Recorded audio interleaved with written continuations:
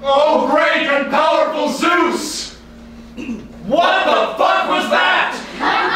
We talked about everything, our dreams. I want to open a duck pond. our I'm afraid that no one will come to my duck pond. Dear Kay, Lucy, you got some splaining to do.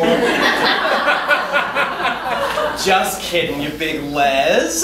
Glad you got yours. I know I wasn't too helpful in that department. Anyway.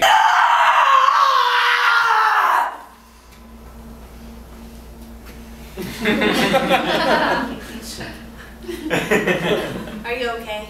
No. When you're fuckable, you get fucked. And then you get fucked over. Likability is deliberate cowardice. And refusing to label yourself as a feminist is just being complicit in the decision to have the world shit on you. In a situation like this, it's gonna happen. It has to happen. We have no choice. So why am I last? Why does no one ever love me? Never remind me I said that. Look at how happy they are. What we're all fighting for, isn't it? To one day look at ourselves and marvel at how happy we are, despite everything that's happened.